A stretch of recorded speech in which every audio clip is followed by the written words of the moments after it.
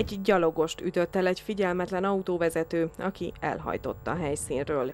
Ez volt az egyik állomása a megyei szakmai versenynek. Milyen intézkedéseket foganosítanak? Ez pedig már egy következő állomás. Itt az egyenruhásoknak egy ittas sofőr ellenőrzését kellett végrehajtaniuk. A megyei főkapitányság és a Baleset Megelőzési Bizottság versenyén hét kapitányság baleseti helyszínelő párosa vett részt. Gyalogos elütést kell helyszínelniük, van egy helyszín utólagos felvétele, ahol két autó ütközött, és utólagos bejelentés alapján kell nyomokat rögzíteni, illetve a, rögzíteniük a kereszteződést, illetve van egy ittasság ellenőrzésük. A gyakorlat mellett azonban nélkülözhetetlen az elméleti tudás is. Az egyenruhásoknak szakmai ismereteikről és kressz tudásukról is be kellett számolniuk. Varicsek György két éve dolgozik a Székesfehérvári rendőrkapitányság baleseti helyszínelőjeként.